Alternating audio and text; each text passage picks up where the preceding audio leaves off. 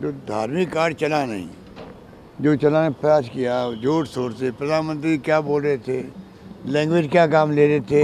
अमित शाह जी, मोदी जी, योगी जी, सभी लोग और वो असम के मुख्यमंत्री जी तो तो बड़ी मतलब बड़ी कहना चाहिए कि ऐसी लैंग्वेज उचित नहीं कह सकते हम लोग, उचित नहीं कह सकते, क्योंकि लोगों में भड़काने वाली बातें होती है, चुनाव में तनाव पैदा होता है। ये तो फॉर्चुनेटली राजस्थान में सब शांति से निपट गया।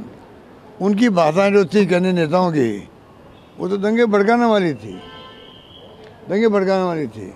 जनता ने फिर भी उनकी परवाह नहीं करी।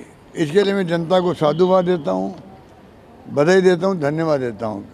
उनके भड़काने में नहीं आए, ये बहुत बड़ी उपलब्धि मानता हूँ कि जो हमारी अप्रोच थी सरकार की, जो हमारी स्कीमें थी, जो हमारे कानून बनाए हम लोगों ने जो हमने गारंटी दी और जो माहौल बनाया विकास का तो विकास का मॉडल बन गया राजस्थान के अंदर। उस कारण से उन्होंने परवाह नहीं करी। इन नेताओं की, वरना अगर परवाह करते तो चुनाव तनाव में होते। आगे क्या होता, दंगे कम होते, नहीं होते, तनाव होता, घटनाएँ छुटमुट होती, मैं नहीं कह सकता।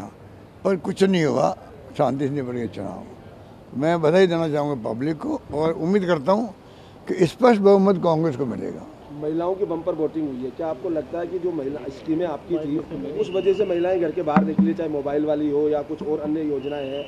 चाहे महिलाएँ हो चाहे कर्मचारी हो चाहे आम आदमी हो चाहे किसान हो कोई जाति बिरादरी हो सबने जम के वोटिंग दी है और जम के जो है मैं समझता हूँ कि अंडर करंट की तरह माहौल बना राजस्थान के अंदर। अंडर करंट की तरह जो खबरें आ रही है बाकी तो तीन तारीख आई तो मालूम पड़ेगा क्या होता है। हमें जो भी फैसला होगा विथ ह्यूमिलिटी हम स्वीकार करेंगे उसको। पर हमने कोई कमी रखी नहीं और जनता ने भी कमी रखी नहीं मेरे ख्याल से। सर आपने कल भी फीडबैक लिया है दिन भर फीडबैक लिया है। फीडबैक के आधार पर आपने बताया अभी अंडर करंट है तो सरकार रिपीट हो रही है।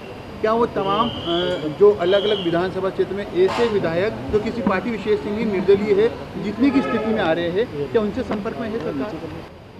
आपको बताएँगे? कोई संपर्क में होगा भी पार्टी वाले आपको बताएँगे क्या? वो तो स्वतः ही स्वाभाविक संपर्क हो जाता अपना आप ही हो जाता है।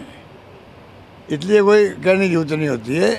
पर इस बार जो है मैं समझता हूँ कांग्रेस को स्पष्ट बहुमत मिलने जा रहा है भारी बहुमत मिलने जा रहा है। ओल्ड पेंशन के आधार पर ओल्ड पेंशन स्कीम कितना फ़ायदेमंद होगी? क्योंकि इस बार अरे आप मैं जब सब कह रहा हूँ भाई ओ पी एस हो चाहे वो N R G S S हो चाहे वो हमारी कानून हो, चाहे हमारी स्कीमें हों, चाहे वो हमारी गारंटी हो, सबको लोगों ने लाइक किया।